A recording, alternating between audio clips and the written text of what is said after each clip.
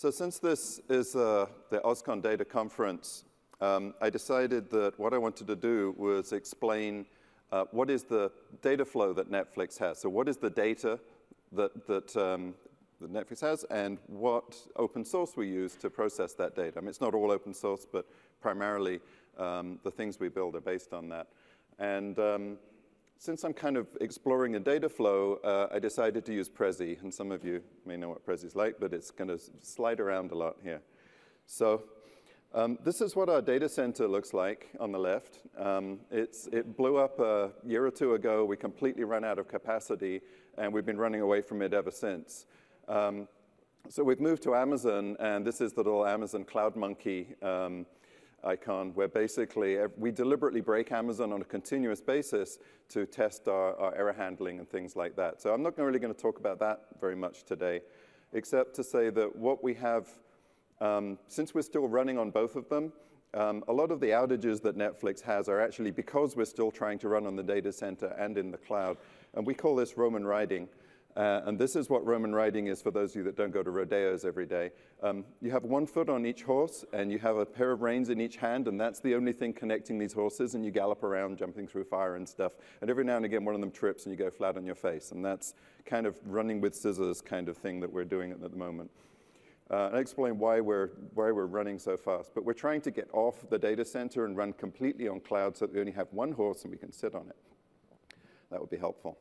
Uh, we don't really have time to read through all this, but this, this seemed very appropriate to today's conference. Um, you know, the guys talking about all the kinds of uh, um, sort of things that you would do if you were trying to sell a startup in the, uh, in the data world. So I, I, recommend you go to Abstruse Goose if you don't manage to get through this and see it. But uh, you know, I could go through and spend a lot of time explaining everything, um, but I, you know, it would just be all words, and, and uh, I'm going to do this with pictures instead, and maybe convey some useful information. I hope. Um, so Netflix is in uh, California in the Bay Area. Um, we also have a division in Hollywood, um, in uh, in Beverly, Beverly Hills, which is where we buy movies and where all of the uh, content deals are done. Um, and then we run all our content at Amazon, and I did actually stick the logo on the roof, but I believe this is actually an aerial view of the cloud, as most people know it. This is Amazon East, uh, as seen on Google Maps. And you can see they're building new bits, which is helpful. Um, so right now we're supporting uh, Canada and the US as, as, two countries that Netflix supports. Uh, we announced yesterday we have, I don't know, whatever it is, 24 million customers, almost a million of them in Canada. Um, so the next step is to take on South, South America, Latin America. This is adding another 43 countries. Who knew there were 43 countries in Latin America? It turns out there are actually 47, but we did actually bundle the last few together. Um, it's islands with almost nobody living on them kind of things. Um, so one of the data explosions we have right now is that all of our metadata, which we used to have just for the US, and then, okay, well, we'll just do Canada, now it's 45x. Uh, and every jurisdiction could potentially have, well, I want this movie and I have a right to this movie from this TV station, but you don't. And so there's blacklists and whitelists across the whole, all 45 regions for what content is available. So it depends where you geolocate your IP to, what content you see. So that's causing a nice little data explosion internally right now, which is keeping a lot of people busy. Of course, what we're trying to do is take over the whole world. Uh, over the next few years, you'll, you'll, see us getting into the rest of the world.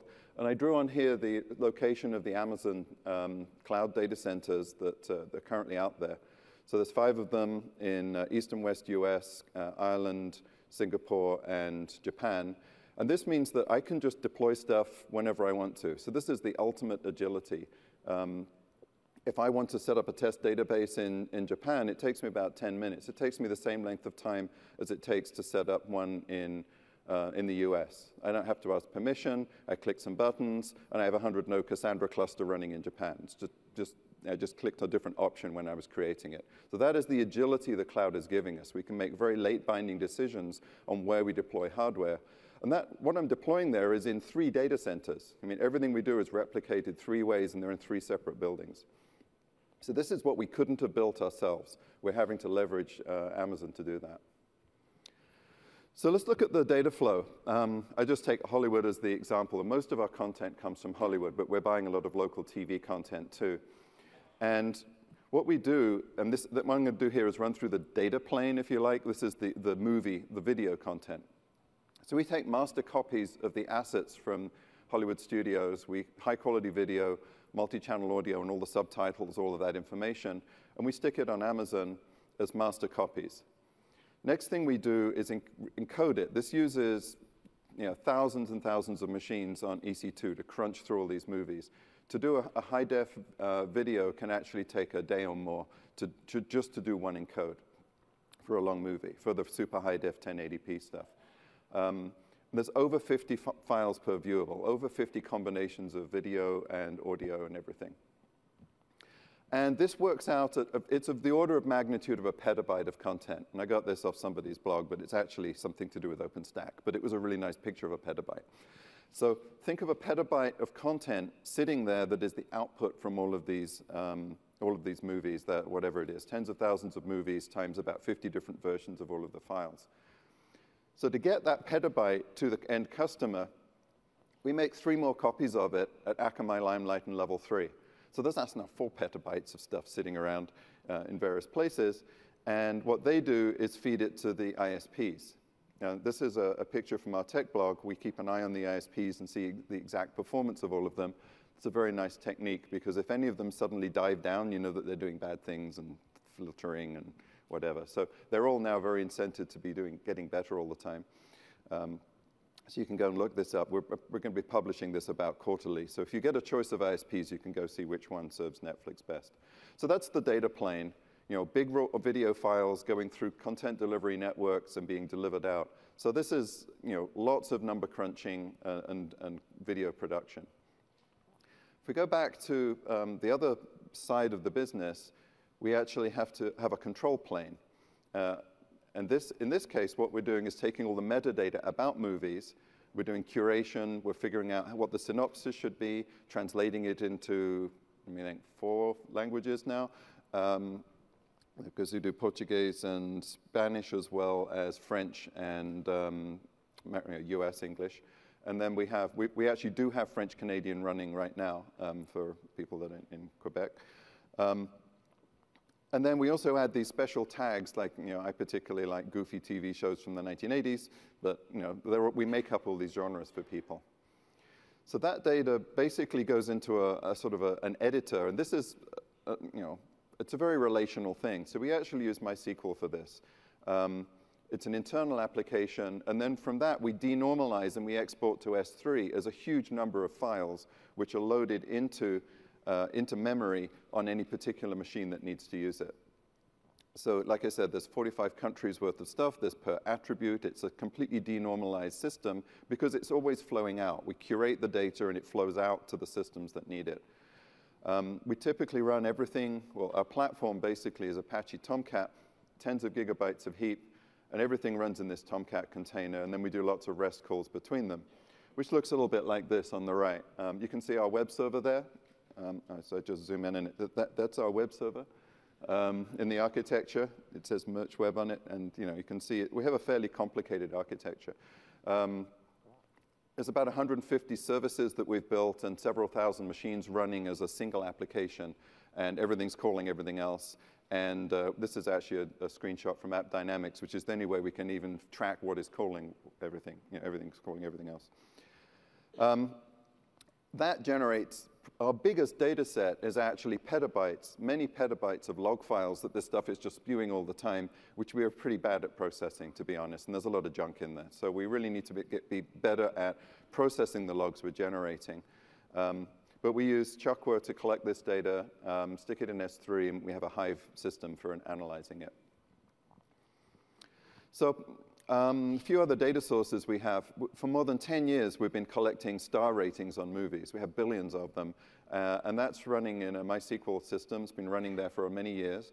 Uh, we, we moved that from the data center to the cloud, and we really pushed the EBS backend um, to the limit. And we decided that was the only time we were going to put MySQL in the cloud. It just was absolutely the size, size limit we could get to. Um, and this is a service where the site sort of runs without it. You just lose all the star ratings and everything degrades gradually. So to build something that would scale horizontally and give us the distribution we were looking for, uh, we went with uh, Cassandra. Um, this is largely driven from a need for high availability and uh, a very clean, scalable operational model. What we put in there is the membership information. So regardless of where you are in the world, you'll be able to look up, who, what, find your subscribing or validate a cookie. Um, we'll be able to figure out what test cells you're in and what active devices you have. And you know, we'll be just running Cassandra across the world as we glo go global, and these will be you know, globally distributed Cassandra rings. So if I poke data in or change my data in one country, it will just flow around and that data will be visible everywhere else within about a second. We also um, store more, more complicated things in Cassandra, uh, and one of those is the bookmark system.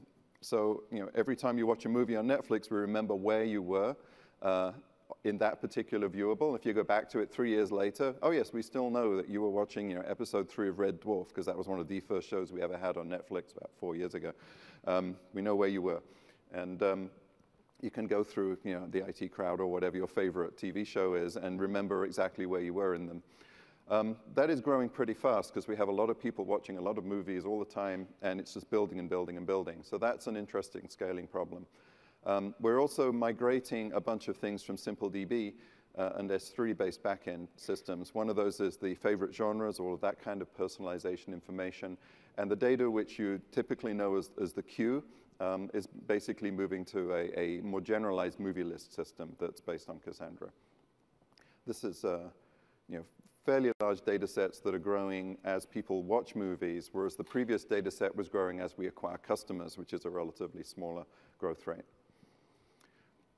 We then take all of that data and we throw it into Hadoop. We have a large-scale Hadoop processing infrastructure, um, and we're trying to get data into our existing business intelligence system, which runs on a Teradata. Um, and so one of the things we've been using here or looking at using is, you know, currently we're sort of gluing Hadoop on top of Cassandra to suck data out of it and uh, renormalize the data. Uh, but we're actually looking at using the Brisk toolkit that was built recently to do that. So that's, uh, you know, kind of a whirlwind tour of everything. Um, so the takeaway from this is, you know, we have a global set of data. We're scaling it on Amazon. We're rolling the whole thing out on Amazon. It's an open source based architecture. There's lots of data, lots of bandwidth, lots of transactions, uh, and that's it. And of course, we're hiring and all that kind of stuff. Lots of interesting problems to solve here. And I managed to make a Prezi a fun shape, so ready for questions. it's like traditional for a Prezi to map into some interesting shape. Any questions? Anyone out there? Anyone feeling seasick? Sorry. Do we have any plans to replace Teradata in the cloud? We're gradually whittling away at everything we have in the data center. So that group is building up its Hadoop experience, and we're moving uh, more of the data off. So the cost of storage in Teradata is about 100 times the cost of storage in the cloud. So we're, all our bulk data is in the cloud, and we're, we're processing fairly high-end, uh, fairly well-digested data into the Teradata, where it's going through the typical you know, ab initio, MicroStrategy, viewing thing. And marketing and finance and whatever, they use that, and they're used to those tools. Um, most of the product teams are getting data directly out of, um, out of Hadoop one way or another. Although I think there is a gap in the market right now for visualization tools running on Hadoop. There are a few people in that place, but I think that's a, an area where I think there's a gap right now. Hopefully there's a, something talks here about interesting ways to do that. Yeah.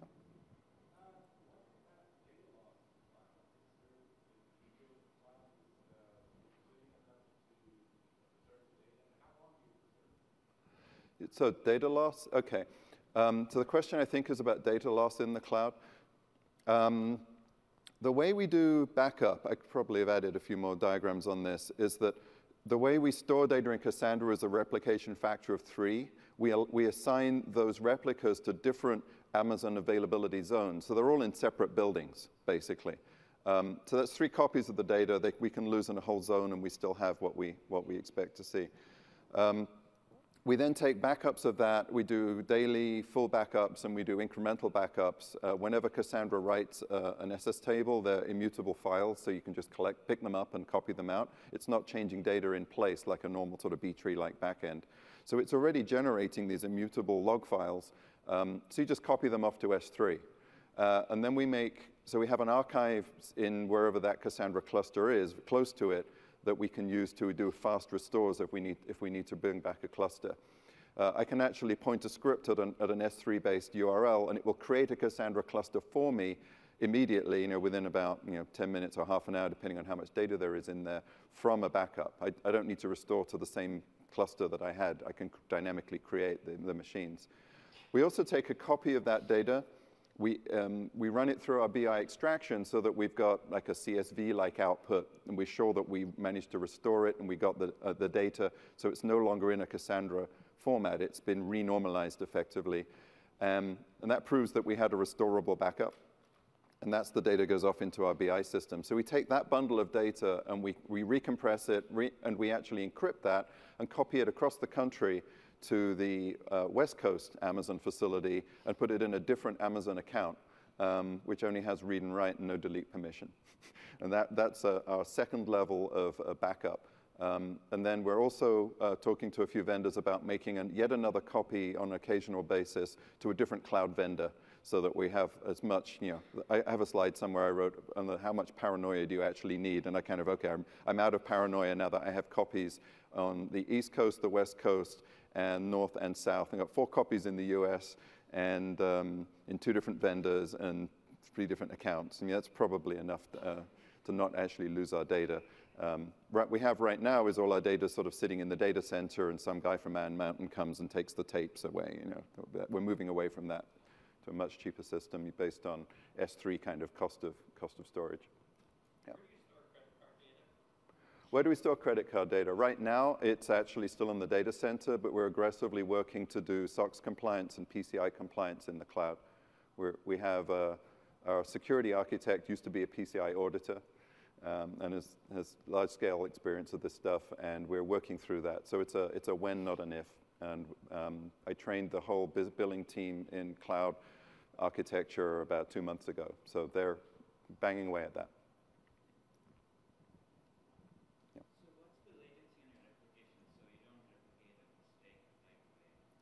What's the latency in the applications? Or oh, in replication? Uh, Cassandra replicates stuff as fast as it can, so it's an asynchronous call. I mean, if you write bad data, you, you duplicate bad data. But we have continuous backups. So we're do, we have three levels of backup. You can do a complete dump of everything. We do the incremental SS table backup, and we also do a commit log scrape on a 30-second basis. Um, so if we corrupt data, we can go back to, you know, we'll maybe lose 30 seconds of data. So architecturally, that's what we've done. Now, this is all stuff that we developed in-house. We're currently working with DataStax to open source the, um, the code for doing that. It's called uh, Priam, I think. Everything is like a Greek name. So I think that's called Priam, which was Cassandra's father or something. Um, so there's a, and over the next few weeks, we're hoping to get that out of the open source community and then get the um, Cassandra community to pick that up as the basis of a, a more generalized backup and restore and incremental archiving system. Yeah?